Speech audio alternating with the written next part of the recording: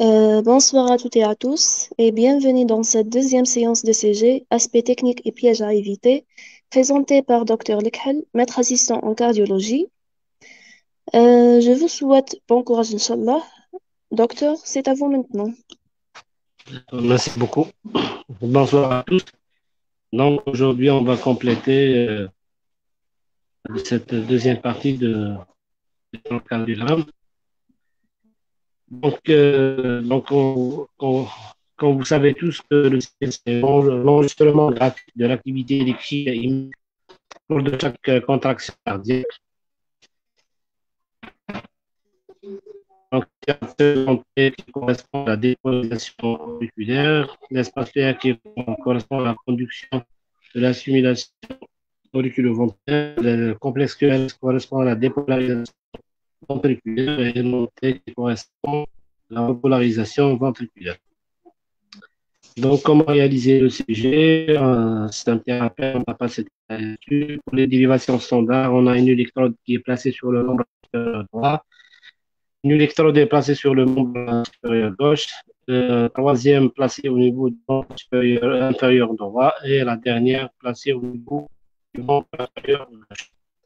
Donc, euh, pour les dérivations bipolaires, on a un qui est entre le membre supérieur droit et gauche, et donc le membre supérieur droit et le membre inférieur droit, et euh, entre le membre supérieur gauche et le membre inférieur gauche. Pour les dérivations unipolaires, on a trois dérivations. R signifie right entre le cœur et le bras droit. VL, L signifie entre le cœur et le bras gauche. Et VF, FC, c'est le, entre le cœur et les inférieurs. Donc, pour l'élévation péricordiale, on a plus de V1, V9, bon, pour l'exploration du cœur droit.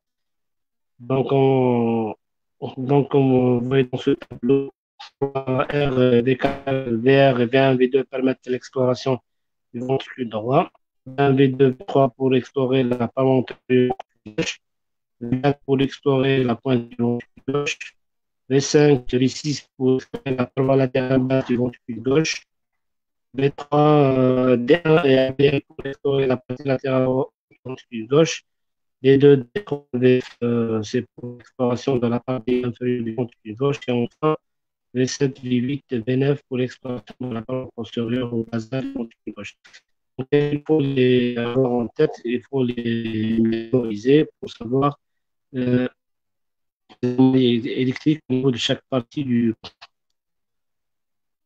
Donc, euh, quand faut-il faire un électrocardiogramme Donc, devant tout symptôme cardiovasculaire, à savoir une douleur thoracique, que ce soit à l'effort ou au repos, donc, euh, le malade vient à la consultation, c'est pour une douleur angineuse, que ce soit au repos ou à l'effort. Dans ce cas-là, il faut toujours réaliser un, électrocardiogramme, soit ou à l'effort.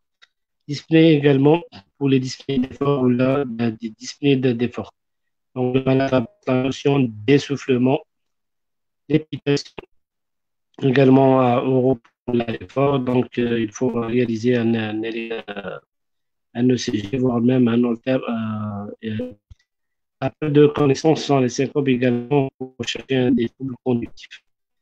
Également, devant toute maladie, euh, à l'examen cardiovasculaire, si on trouve l'examen cardiovasculaire le malade est tachycarde ou l'embradicardie, ou là, il présente une arythmie euh, cardiaque, la présentation de galop, devant une incidence euh, les patients hypertendus pour le retentissement de cette euh, incidence gauche, également devant les patients qui présentent une vasculaire, c'est-à-dire une artériopathie oblitérante du membre inférieur, un anévrisme de abdominale ou des AVC.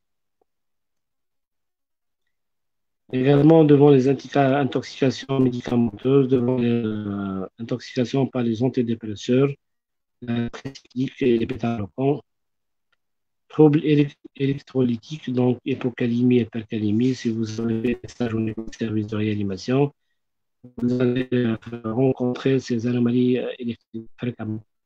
Les états de choc, quel que soit le type d'état de, choc, la mise en route d'un traitement métabloquant, donc avant de commencer un métabloquant, il faut toujours réaliser un ECG, puis réaliser après, le métabloquant, euh, des, ECG répétitifs euh, de façon répétitive pour apprécier la fréquence cardiaque. En préopératoire, euh, devant toute intervention, dans le bilan opératoire, chez les hommes après 40 ans et chez les femmes de 7 ans, c'est-à-dire les femmes ménopausées, pour réaliser un test pour dépister des troubles conductifs, des arythmies, des signes d'ischémie myocardique. Euh, pour l'aptitude professionnelle, donc les conducteurs euh, ou les sportifs, euh, généralement avant l'embauchement ou le ils demandent des ECG. Enquête familiale pour certaines cas comme la dysplasie arythmogène du ventricule gauche, du ventricule plutôt du ventricule droit, le CMH hypertrophique, donc, euh, l'hypathique, les hypertrophies, les hypertrophiques sont caractérisées par l'augmentation de l'épaisseur des parois myocardiales. Syndrome de Bugadin, donc le fameux syndrome qui a été défini par les docteurs Bugadin, donc euh, une très rare caractérisée par la survenue de mort subite ou les troubles de rythme euh, ventriculaire. Donc, le plan de répétition, euh, l'ECG, Donc, l'ECG doit toujours être interprété dans le même ordre afin de ne pas passer à côté d'un trouble rythmique, un trouble de conduction ou, une autre anomalie. Donc, l'analyse systématique doit se faire selon l'ordre du cycle cardiaque. Donc, le premier, donc il faut toujours dire la fréquence et le rythme cardiaque donc, pour rechercher une tachycardie ou bradycardie ou une arythmie sinusale. Pour rechercher le cœur, il est dans l'axe normal, où là, il est dans l'axe, euh, il est l'axe, il est droit, où là, il est à gauche. L'onde P, donc, est-ce qu'elle est bifide, est-ce qu'elle est large, est-ce qu'elle est biphasique, est-ce qu'elle est normale, est-ce qu'elle est présente, est-ce qu'elle est absente? L'espace PR, euh, il faut toujours vérifier est-ce qu'il est très court, est-ce qu'il est long, etc. Le complexe QRS, sa morphologie, la durée etc. Rechercher les ondes Q qui signifie que le malade a fait un EDM le segment ST, est-ce qu'il est isoélectrique, est-ce qu'il est euh, un décalage, etc. Le segment QT, euh, l'onde euh, l'onde Q et l'onde U. Donc, il faut les retenir par cœur et pas. Donc, avant de commencer, il faut toujours vérifier l'étalonnage et la vitesse de déroulement d'un tracé électrique. Donc, on voit ici l'amplitude d'un millivolt, millivolt correspond à 10 mm. Ainsi que la vitesse de déroulement du tracé, il faut toujours qu'elle soit 25 mm par seconde.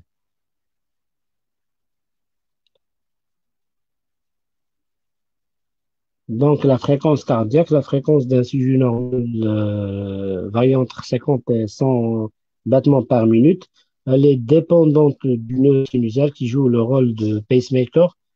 Une simulation rapide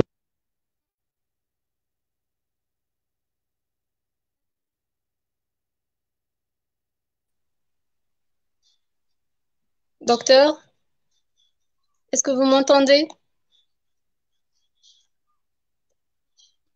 Donc, on voit ici, on a trois carreaux entre les deux complexes QS donc la fréquence cardiaque, on va diviser 300 sur 3 pour avoir une fréquence de 100 battements par minute. Donc on parle de euh, bradycardie pour des fréquences. Euh, la diapo maintenant n'est plus affichée. Est-ce que vous pouvez la partager?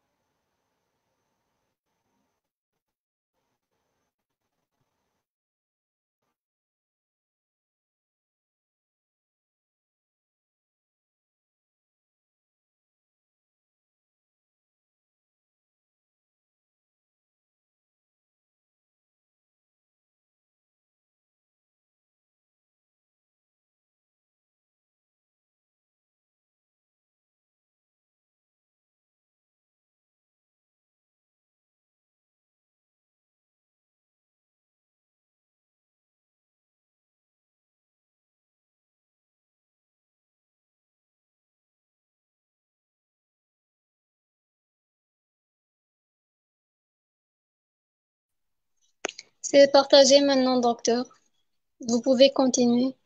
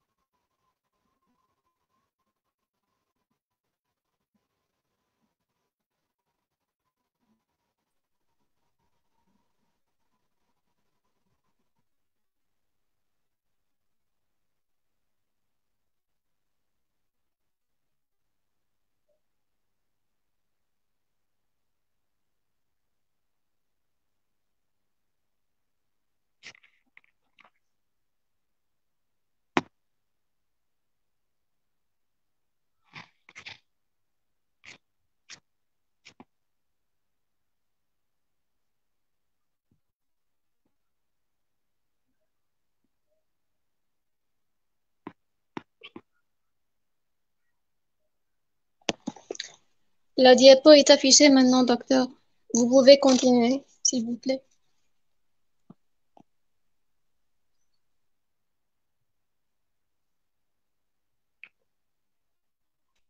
Donc, euh, on parle de bradycardie pour les fréquences de moins de 50 battements par minute et de tachycardie pour les fréquences euh, au-delà de 100 battements par minute.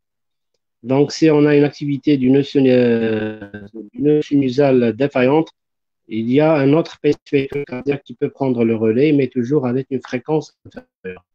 Ce foyer peut être soit auriculaire, on aura une fréquence qui varie entre 50 et 80 battements par minute, euh, ou jonctionnel, on aura une fréquence qui varie entre 35 et 50 battements par minute.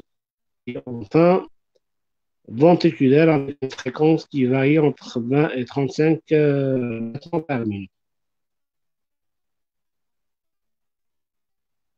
Donc, normalement, le, rythme cardiaque est sinusal avec une fréquence qui varie entre 50 et 100 battements par minute. Donc, elle est déterminée par le nom euh, de nœud sinusal.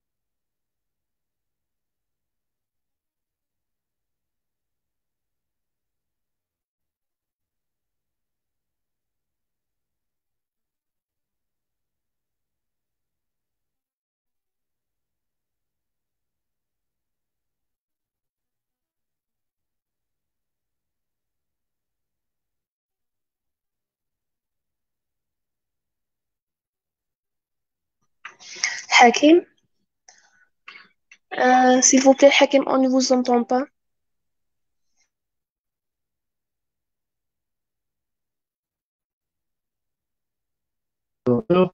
et dure moins de 0,12 secondes, c'est-à-dire 3 quarts. Donc, il existe une P avant chaque complexe QRS. Donc, les P peuvent être présentes, mais de morphologie anormale ou absente.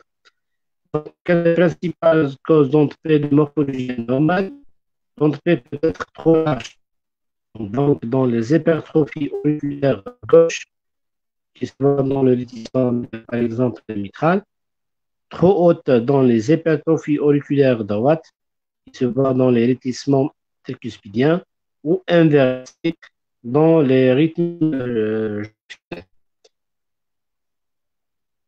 les principales, quelles sont les principales causes d'onde P Donc, euh, l'onde P est absente dans les filiations auriculaires, dans les blocs sillon auriculaire et dans les tachycardies jonctionnelles et ventriculaires.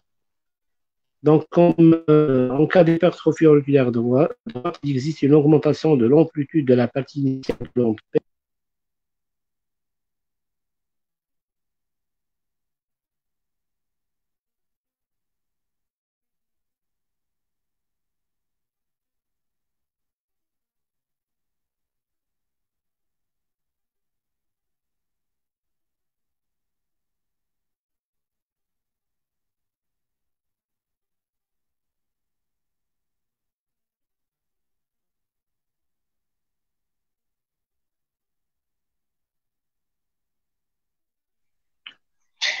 Hakim, s'il vous plaît, euh, on ne vous entend pas. Je sais pas, problème de connexion ou bien le, votre kitman là.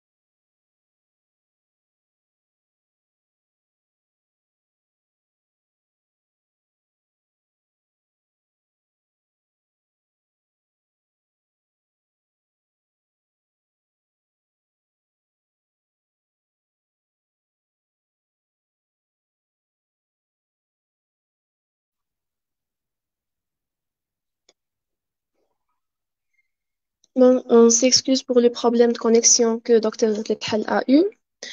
On vous donne un rendez-vous pour une prochaine séance, Inch'Allah. Et merci.